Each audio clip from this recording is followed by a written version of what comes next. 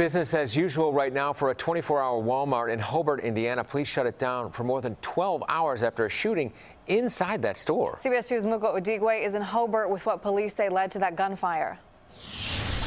Hours after the store reopened for customers this morning, we spoke with some of them. They say while they are shocked about Sunday afternoon's shooting, it won't deter them from shopping here.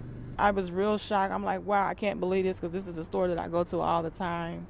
Police were called to the Hobart Walmart just before 4 Sunday afternoon. Inside, they found a customer who had been shot.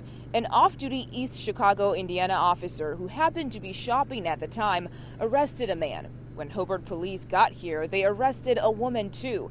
Investigators tell us the people involved knew each other. The store was evacuated and closed for the day following the shooting. This is the second shooting at the same Walmart in less than a year.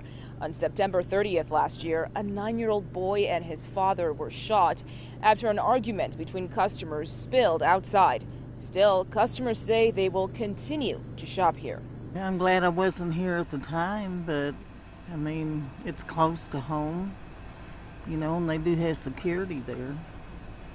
So I'll probably keep coming. I can't let incidents stop me from doing what I want to do, go where I go. That would be foolish, you know. I don't think that you know, if something's going to happen, it's going to happen. We went to the Hobart Police Department to ask about this case and exactly when charges will be filed. No one was available to talk to us. In Hobart, Mugo Odigwe, CBS 2 News.